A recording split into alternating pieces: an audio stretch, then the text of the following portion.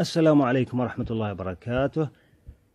تنمو الثمار والأفرع والأوراق الجديدة في أشجار التين فوق إبط الورقة كما نشاهد.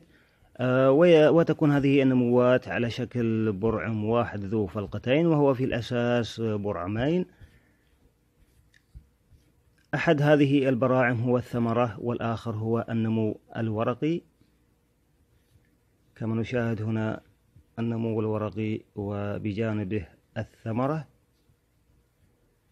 طبعا قد تظل هذه البراعم خاملة لسنوات في الشجرة بسبب ضعف نمو الشجرة أو بسبب العامل الوراثي. وكما نشاهد هذه البراعم خاملة. وفي الأعلى تفتحت الثمرة وتبقى النمو الخضري.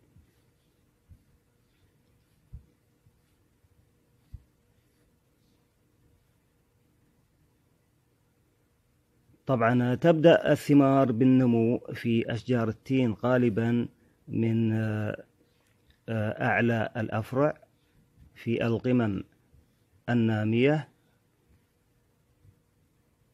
ثم يبدأ النمو في الأسفل. كما نشاهد كلما نزلنا إلى الأسفل آه، صغر حجم الثمار ونلاحظ أن النمو أقل. أما في الأعلى النمو كثيف وذلك لأن الغذاء الذي تمتصه الشجرة والماء يتركز في قمم الأفرع لقربها من الشمس. لأن ضوء الشمس هو مصدر آه، الغذاء والورقة هي مصنع الغذاء فتكون الأوراق العلوية هي الأكثر تعرضا الضوء. وكما نشاهد البراعم في الأسفل خاملة وكلما صعدنا إلى الأعلى آه، الثمار أكثر تفتحا وأكثر آه، نمو.